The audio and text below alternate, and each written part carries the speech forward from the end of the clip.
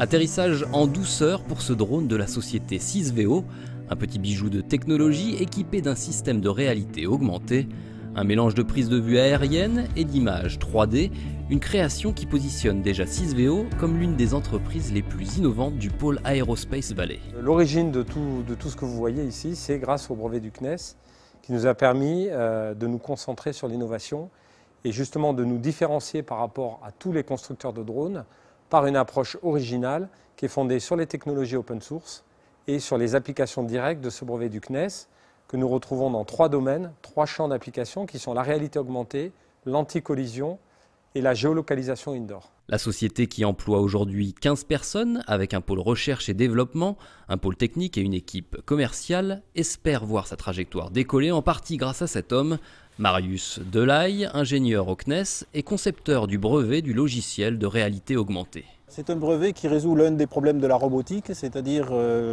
l'obligation de commander le robot à distance.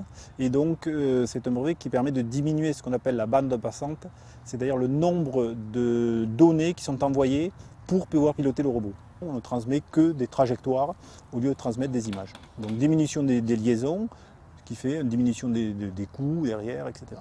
Ce que le CNES apporte, c'est une technologie qui a déjà été brevetée, qui a déjà fait ses preuves dans un environnement spatial. Et cette robustesse et cette qualité peut aider des entreprises à développer leur métier et pourquoi pas créer des compétences et des métiers sur Terre inattendus. Conçu pour la navigation d'un robot dans un espace en deux dimensions, le concept a donc été adapté pour les drones.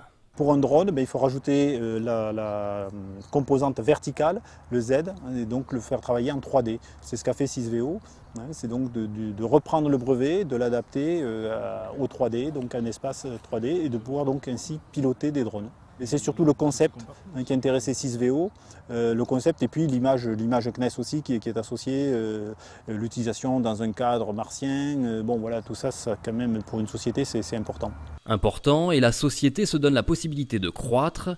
En regardant l'avenir avec un peu de hauteur, tout est permis. Si on considère le marché du drone for life, c'est-à-dire du drone de transport d'échantillons biologiques, on sait que c'est un marché de plusieurs milliers de drones sur la France et c'est un marché dans lequel 6VO euh, va être un acteur majeur euh, dans les années qui viennent, ce qui induit des recrutements pour améliorer la conception des drones, pour les fiabiliser et pour former les utilisateurs. Création d'emplois, innovation technologique, les actions menées par le CNES en matière de dépôt de brevets démontrent leur efficacité dans l'aide au développement des entreprises.